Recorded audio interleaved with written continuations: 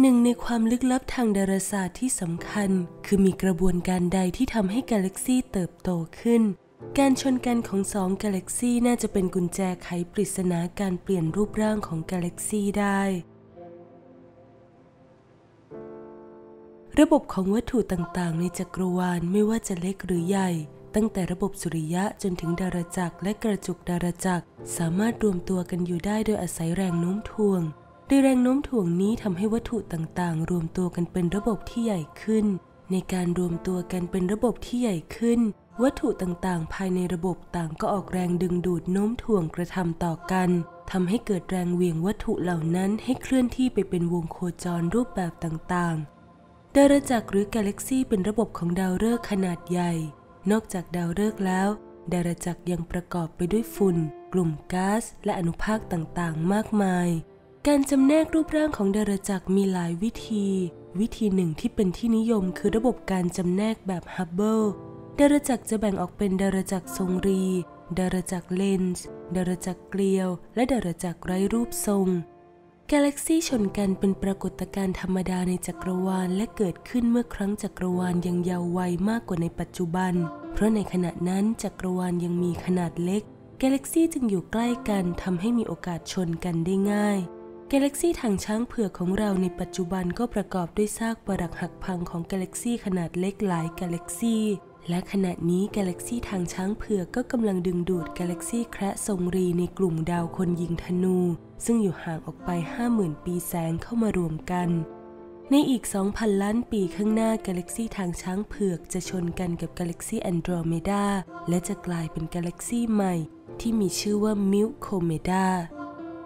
โดยขณะนี้ทั้งสองกาแล็กซี่กำลังเคลื่อนที่เข้าหากันด้วยความเร็วประมาณ 500,000 กิโลเมตรต่อชั่วโมง กาแล็กซี่ชนกันเกิดจากแรงดึงดูดของกาแล็กซี่ทำให้มันเคลื่อนที่เข้าหากัน การชนกันของสองกาแล็กซี่หรือหลายกาแล็กซี่ไม่ทำให้กาแล็กซี่พังทลายลงแต่อย่างใด แต่กาแล็กซี่เหล่านั้นจะรวมกันเป็นกาแล็กซี่หนึ่งเดียว และมีขนาดใหญ่ขึ้นด้วยรูปทรงแปลก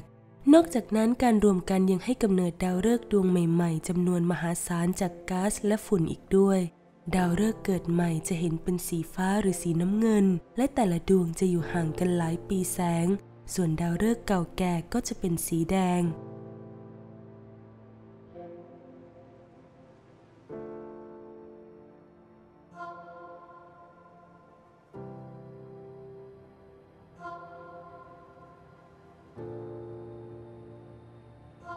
นี่คือภาพกาแล็กซี่ชนกันบางส่วนที่สถาบันวิทยาศาสตร์กล้องโทรทรรศน์อวกาศได้เผยแพร่ต่อสาธารณชนค่ะ ซึ่งเป็นภาพจากกล้องอวกาศฮับเบิล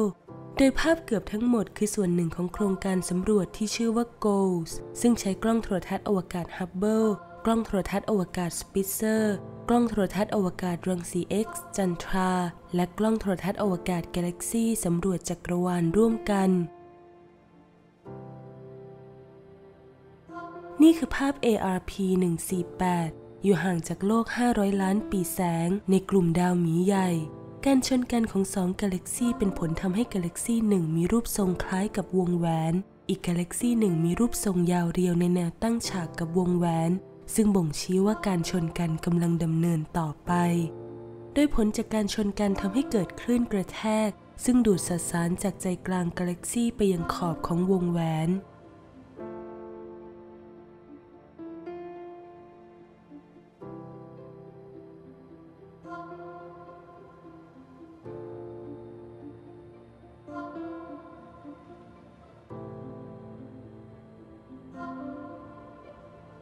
คือภาพมาเกเรียน 273 อยู่ห่างจากโลก 500 ล้านปีแสงในกลุ่มดาวหมีใหญ่ มีรูปทรงคล้ายแปลงสีฟัน ด้ามแปลงมีความยาวถึง 1,300 ปีแสง ซึ่งเป็นหลักฐานที่ชี้ว่ากาแล็กซี่หนึ่งกำลังเข้าไปชนกับอีกกาแล็กซี่หนึ่งจุดเด่นของมาคาเรียน 273 คือมีบริเวณที่ให้กำเนิดดาวฤกษ์ที่มีความหนาแน่นมาก ดาวฤกษ์ดวงใหม่ขนาด 60 เท่าของดวงอาทิตย์เกิดขึ้นในบริเวณนี้ทุกปี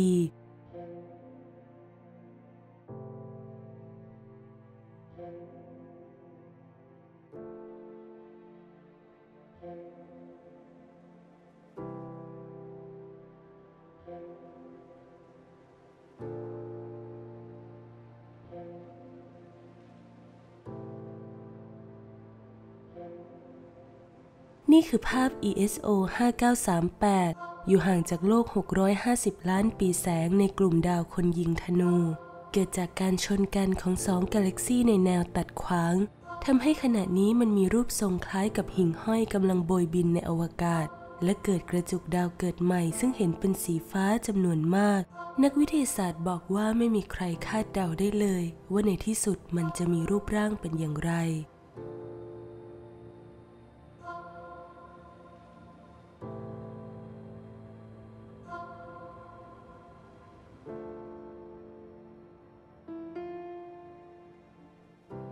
และนี่คือ ARP 256 อยู่ห่างจากโลก 350 ล้านปีแสงในกลุ่มดาววาน นี่คือกาแล็กซี่รูปเกลียวหรือกาแล็กซี่กังหันที่กำลังเคลื่อนที่เข้าชนกัน ดูคล้ายกับดอกไม้ไฟในอวกาศ แรงดึงดูดโน้มถ่วงของสองกาแล็กซี่ทำให้เกิดหางซึ่งเป็นบริเวณของก๊าซฝุ่นและดาวฤกษ์บริเวณสีฟ้าคือกระจุกดาวเกิดใหม่ ซึ่งมีความสว่างกว่าดวงอาทิตย์ในระบบสุริยะหลายหมื่นล้านเท่า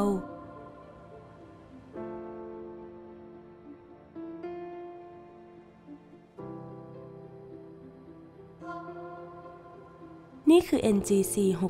6240 อยู่ห่างจากโลก 400 ล้านปีแสงในกลุ่มดาวคนแบกงู เกิดจากการชนกันของสองกาแล็กซี่ขนาดเล็กเมื่อ 30 ล้านปีก่อน รูปทรงของมันคล้ายกับเต่าทะเล การชนกันนอกจากจะให้กำเนิดดาวฤกษ์ดวงใหม่ ๆ แล้ว ยังจุดชนวนให้เกิดการระเบิดซูเปอร์โนวาอีกด้วย การสำรวจโดยกล้องโทรทัศน์รังสี X พบว่าหลุมดำยักษ์สองหลุมซึ่งอยู่ห่างกัน 3,000 ปีแสงกำลังเคลื่อนที่เข้าไปรวมกันเป็นหนึ่งเดียว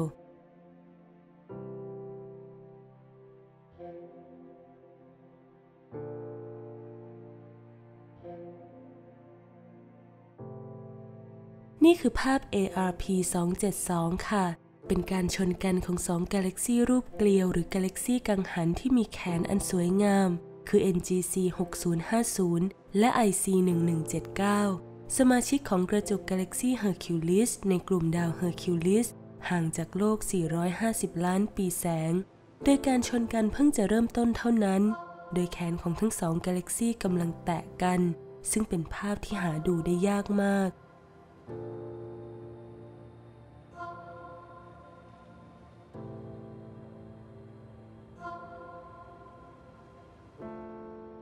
และสุดท้ายคือ NGC 3690 หรือ ARP 299 เกิดจาก Galaxy IC 694 และ NGC 3690 ชนกันเมื่อ 700 ล้านปีที่ผ่านมา ในกลุ่มดาวหมีใหญ่ห่างจากโลก 150 ล้านปีแสง การชนกันให้กำเนิดดาวฤกษ์จำนวนมหาศาล นักดาราศาสตร์พบว่าเกิดการระเบิดซูเปอร์โนวา 6 ครั้งในบริเวณขอบกาแล็กซีในระยะเวลา 15 ปีที่ผ่านมา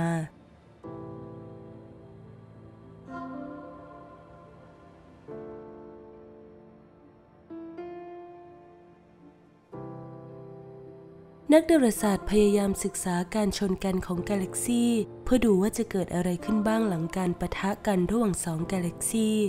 การชนกันของกาแล็กซีอาจทำให้เกิดดาวดวงใหม่จำนวนมหาศาล หรืออาจทำให้เกิดหลุมดำมวลยิ่งยวด อย่างไรก็ตาม ภาพที่กล้องโทรทรรศน์อวกาศฮับเบิลเคยถ่ายเอาไว้ได้ก่อนหน้านี้ ก็ยังไม่สามารถให้คำตอบนักดาราศาสตร์ได้ ว่าที่จุดตรงกลางซึ่งทั้งสองกาแล็กซีปะทะกัน มันเกิดอะไรขึ้น เนื่องจากถูกหมอกฝุ่นบดบังเอาไว้ กล้องโทรทรรศน์อวกาศเจมส์เว็บบ์ได้ปล่อยภาพของ IC 1623ซึ่งเป็นสองกาแล็กซีที่กำลังชนกัน โดยอยู่ห่างจากโลกของเราออกไปราว 270 ล้านปีแสง ในกลุ่มดาวซีตัส หรือกลุ่มดาววานทีมนักดาราศาสตร์ได้ถ่ายภาพอินฟราเรดของ IC 1623 โดยใช้เครื่องมือทางวิทยาศาสตร์ที่ล้ำสมัยของกล้องเจมส์เว็บบ์จำนวน 3 ตัว ได้แก่ MIRI NIRSpec และ NIRCam ทำให้เราได้เห็นภาพของ IC 1623 ที่คมชัดกว่าภาพในอดีต ที่กล้องโทรทรรศน์อวกาศฮับเบิลเคยบันทึกเอาไว้ ได้จากภาพนี้เราจะเห็นแกนของกาแล็กซีที่สว่างสดใส ส่งผลให้ชุมชนนักดาราศาสตร์ได้มีโอกาสศึกษาปฏิกิริยาที่ซับซ้อนในระบบนิเวศของกาแล็กซีได้มากขึ้น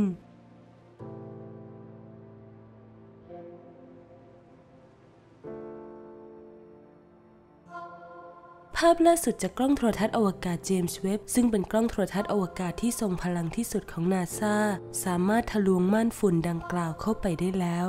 ดยภาพใหม่จากเจมส์เว็บทำให้เราเห็นว่าการประทะและรวมตัวกันของ IC 1623 ได้กระตุ้นให้เกิดการก่อตัวของดาวดวงใหม่ ๆ ในปรากฏการณ์ที่เรียกว่าดาวกระจาย และกำลังสร้างดาวดวงใหม่ในอัตราที่เร็วกว่าทางช้างเผือกของเรามากกว่า 20 เท่า จุดที่เกิดการประทะก๊าซจำนวนมหาศาลที่ถูกใช้เป็นเชื้อเพลิงให้กับพื้นที่อนุบาลดาวฤกษ์ซึ่งเห็นชัดเจนเป็นพิเศษ และในภาพใหม่นี้ซึ่งไม่มีม่านฝุ่นมาบดบัง ยังทำให้นักดาราศาสตร์ได้เห็นแกนของกาแล็กซีที่สว่างเจิดจ้าได้อย่างชัดเจนอีกด้วย นักดาราศาสตร์สามารถศึกษาข้อมูลได้มากมายจากภาพนี้ ซึ่งจะช่วยคลี่คลายปริศนาปฏิสัมพันธ์ระหว่างกาแล็กซีที่ซับซ้อน ศึกษาการเกิดขึ้นของหลุมดำมวลยิ่งยวด ซึ่งเป็นสิ่งที่พบได้ที่ใจกลางกาแล็กซีขนาดใหญ่ และช่วยให้คาดการได้อย่างแม่นยำขึ้น ว่าเมื่อทางช้างเผือกของเราชนเข้ากับกาแล็กซีแอนโดรเมดาในอนาคต มันจะเกิดอะไรขึ้น